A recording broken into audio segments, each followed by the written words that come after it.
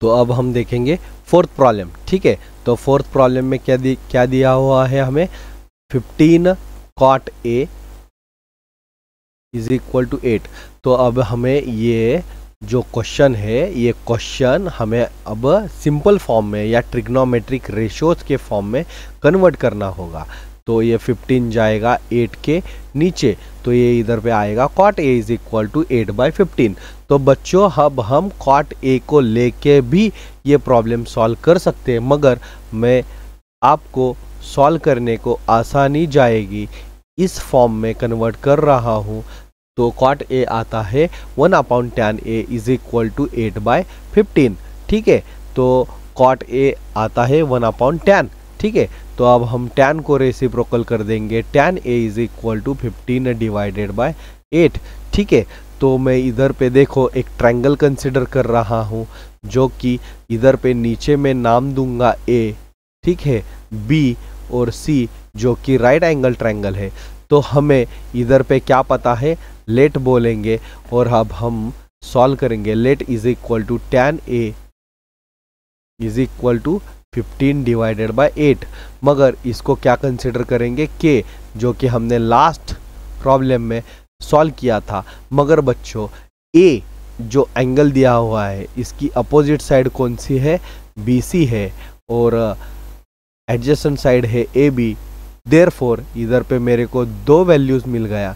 B C is equal to आ जाएगा 15 के और A B is equal to आ जाएगा 8 के जो कि मैं अब इधर पे नाम मेंशन कर रहा हूँ फिगर में तो ए बी मेरा है एट के और बी सी है 15 के, ठीक है? तो लास्ट टाइम हमने जो प्रोसीजर फॉलो किया था, वही प्रोसीजर मैं फॉलो कर रहा हूँ। क्या फॉलो करना है? मेरे को इधर पे पहले हाइपोटेनियस फाइंड आउट करना है।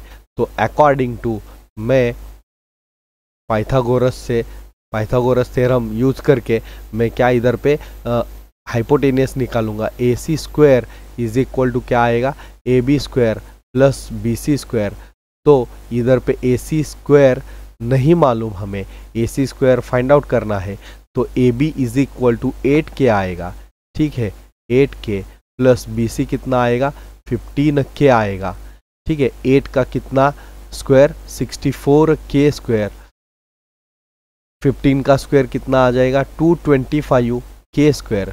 तो बच्चों, sixty four plus two twenty five तो इधर पे क्या आएगा? टू एटी नाइन के स्क्वायर, जो कि हमें आया ए सी स्क्वायर। हम क्या करेंगे? रूट लेंगे स्क्वेयरिंग ऑन बोथ साइड। तो मेरे को अभी इधर क्या मिल गया? A C is equal to कितना आएगा? सेवनटीन। टू एटी नाइन का रूट है सेवनटीन। के स्क्वायर का रूट मिल जाएगा मेरे को के। तो मेरे को अब इधर पे क्या मिल गया?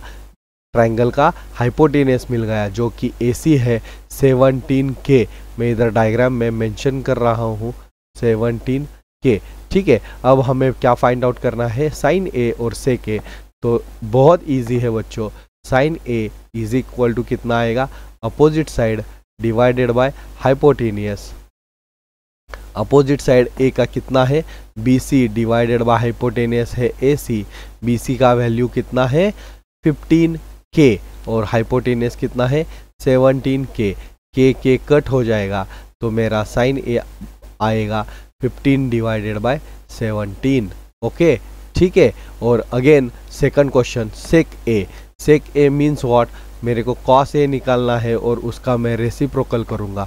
कॉस ए कितना आएगा, कॉस ए आएगा adjacent side divided by hypotenuse तो एडजेसेंट साइड कितना है?